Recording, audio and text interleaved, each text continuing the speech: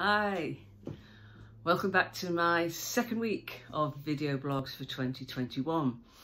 And I'm going to con continue on from the blogs, the video blogs I was doing last week, because I want to explore what I'm about to put, putting in a white paper, or have put in a white paper, is 10 reasons you should use this framework to embed your changes into your organisation and make sure that they get embedded that they become part of the fabric of the organisation. They become, it's just the way we do things around here.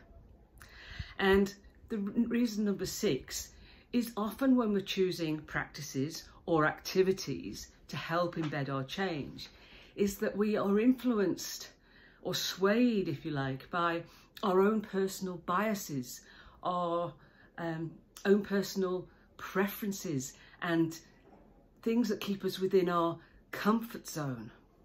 So I may be really comfortable with facilitating workshops. I may be really comfortable about presenting to, you know, in town halls, but that doesn't mean that those activities are the right ones for every change. So to avoid that bias and being inside the comfort zone and influencing our choice, we have 59 practices to choose from and a structured approach to look at each one as we determine whether it might be appropriate and ask questions like, does it deliver, will it deliver on the outcomes? Do we have time? Do we have the capabilities and resources? Does it suit the culture of the organisation? Does it meet stakeholder needs, etc.?